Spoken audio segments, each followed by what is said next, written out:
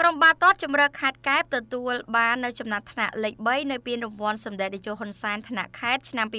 2020បន្ទាប់ពីយកឈ្នះទៅលើក្រុមជើងឯករងឆ្នាំចាស់ខេត្តសៀមរាបដោយលទ្ធផល3ទៅនឹង0នៅក្នុងការប្រកួតកាត់សេចក្តីនៅពហុកីឡដ្ឋានជាតិកាលពីល្ងាចថ្ងៃទី29កក្កដាឆ្នាំ2020ជំនួបដណ្ដើមលេខ3នៃពានរង្វាន់ថ្នាក់ខេត្តនេះក៏មិនចាញ់ការប្រកួតវគ្គផ្ដាច់ព្រាត់ដែរ ដែលក្រុមទាំងពីរបានដាក់សម្ពាធគ្នាពេញ90នាទី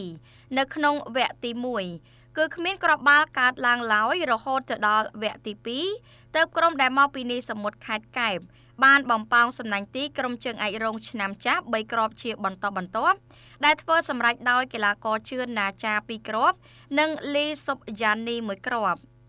ជាមួយនឹងជ័យជំនះនេះបានធ្វើឲ្យក្រុមជម្រើសខេត្តកែបទទួលបានចំណាត់ថ្នាក់លេខ3លើកដំបូងនៅក្នុងប្រវត្តិចូលរួមប្រកួតពានរង្វាន់សម្ដេចតេជោហ៊ុនសែនថ្នាក់ខេត្តក៏ដូចជាសម្រាប់ក្តីស្រមៃមួយជំហានរបស់លោកលឹមឆាវរ៉ាត់ដែលជាអ្នកចាត់ការទូតទៅក្រុម